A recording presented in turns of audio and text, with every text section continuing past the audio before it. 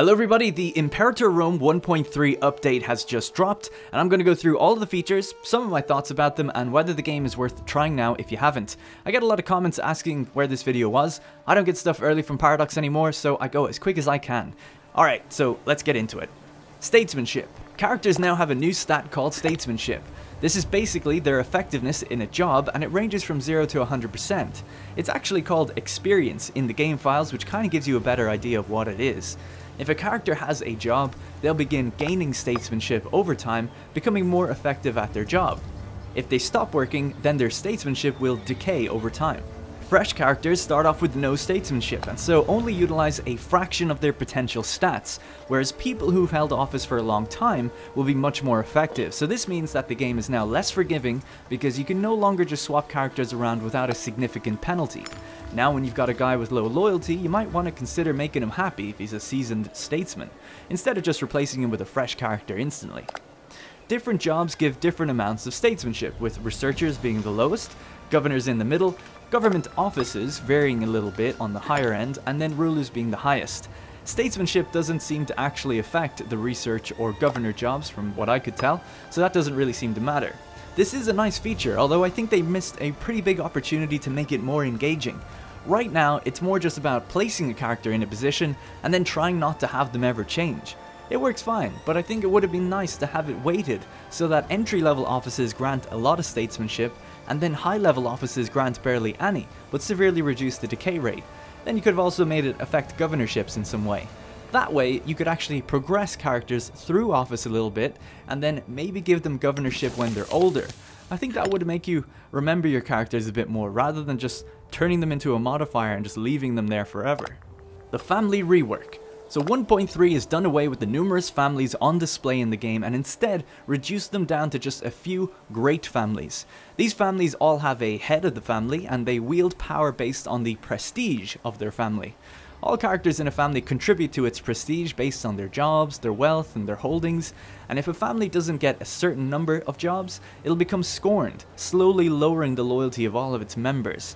And the loyalty hit is actually harder for every job that they are scorned by, so if they're missing three jobs, then it's three hits of that loyalty. Now on the flip side, if it gets too many jobs assigned to it, the family will actually be considered grateful and they'll start gaining loyalty.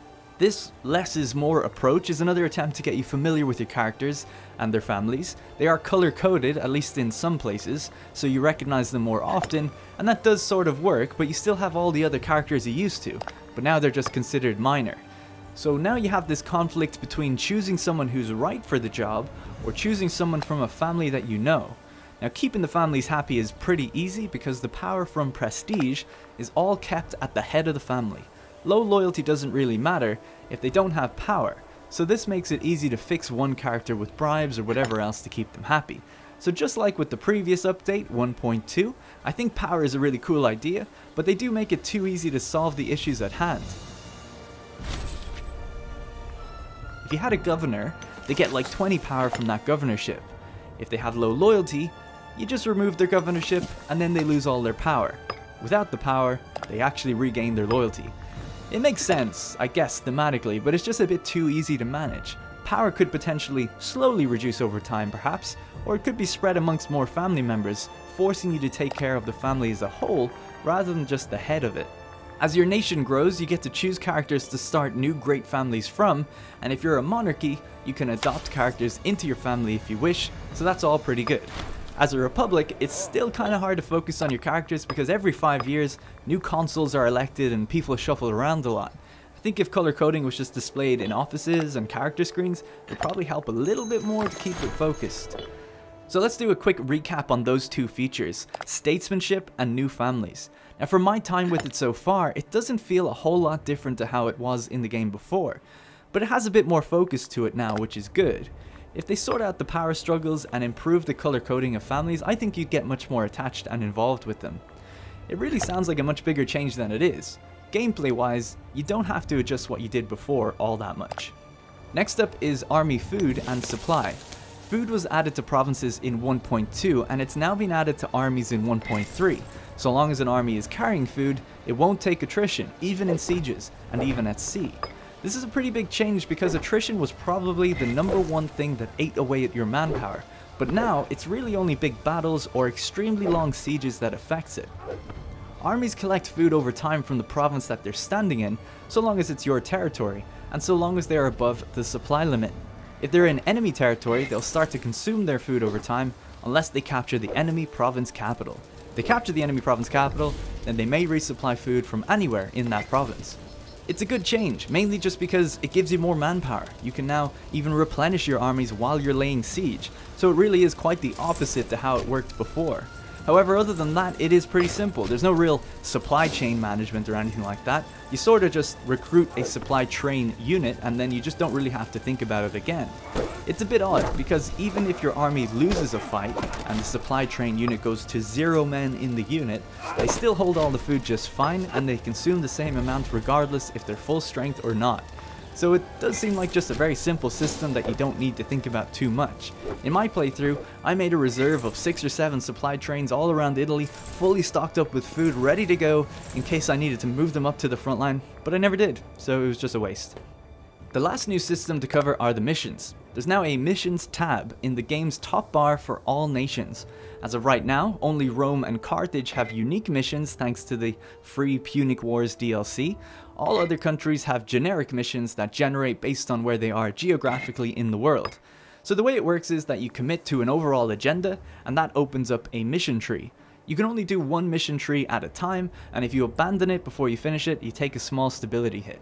Essentially, the missions are just like certain goals, you know, like taking a province, building it up, getting a certain amount of trade goods or whatever else, and that gives you short-term or permanent benefits. They have a lot of flavor text surrounding them, especially the Roman and Carthaginian ones, which fire off events every few months with walls of text. For me though, I really don't like the current missions in the game. I find that they're too heavily scripted and they just don't react to your situation enough. As Rome, I client stated Lucania, and then my mission asked me to occupy one of their towns. It didn't count as mine even though I client stated them, so it just kinda sucked that I was being forced down a path to wage war on territory that's supposed to be basically mine anyways. The mission said I was taming the Bruttians and that they must accept Roman hegemony to make way for Roman access to Sicily. But this just doesn't fit. I already had access to Sicily, I was able to go through their lands, I occupied them, you know, they'd already submitted to me, so it just didn't really seem to make sense. Either way, I did complete it, and once you trigger it, you can found a city for free, and then move on to the next mission in the tree. Paradox said in a developer diary that they wanted to avoid railroading with these missions, but that's exactly what they've done. Sure, I can abandon the mission and just do my own thing, but then it sort of defeats the purpose of the missions in the first place. Now I'm going to go off on a bit of a tangent, and I want you to tell me if I'm crazy or not, but here's my idea for how missions could have worked. If you're a republic, you have five parties, civic, military, mercantile, religious, and populist. It would make sense to me if the missions were generated based on what those political parties in the Senate wanted based on your situation. Maybe the merchants want to produce more goods and establish more trade. Maybe military wants conquest into a certain bordering nation. Maybe civic wants a certain number of cities built by a certain date.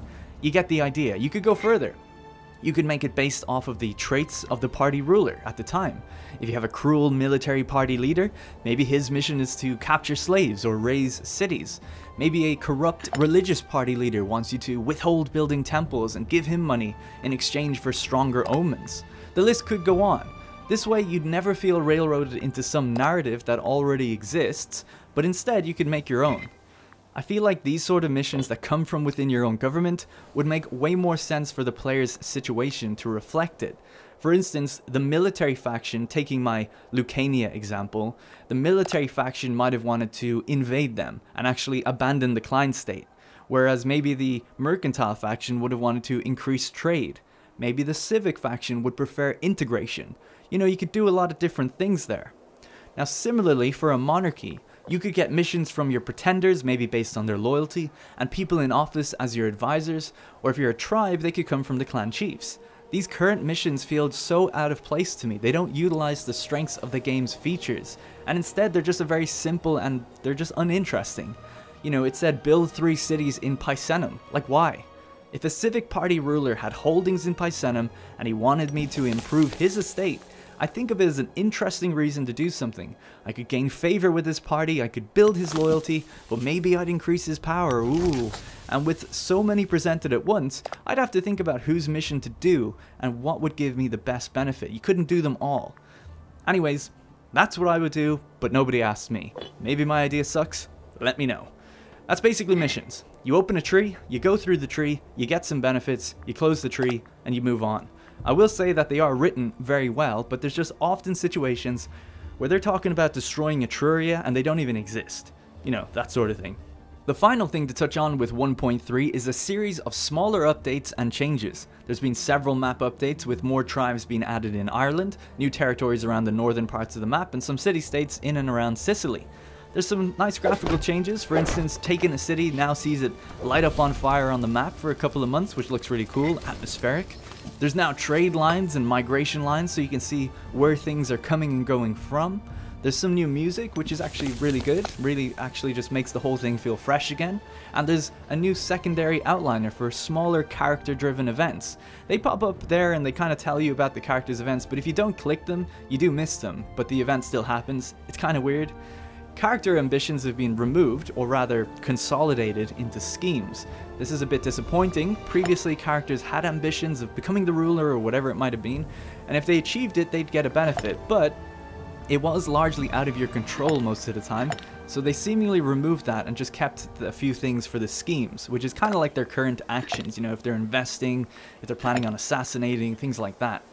Here's a couple of the things that I don't like that they've changed. There used to be two lines of map modes, and now there's just one, with one less hotkey to use. It's kind of a real Paradox player problem, but if you play Paradox games, you'll, you'll understand.